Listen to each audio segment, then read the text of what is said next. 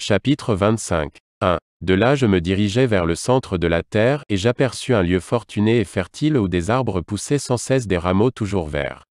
Là je vis encore une montagne sacrée, et au-dessous, sur le flanc oriental, une eau qui coulait vers le midi. J'aperçus encore vers l'orient une autre montagne, également élevée, placée au milieu de vallées profondes, mais étroites.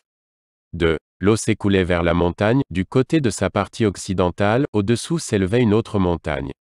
3. Et au pied de cette montagne une vallée étroite, et au milieu d'autres vallées profondes et desséchées vers l'extrémité de ces trois montagnes.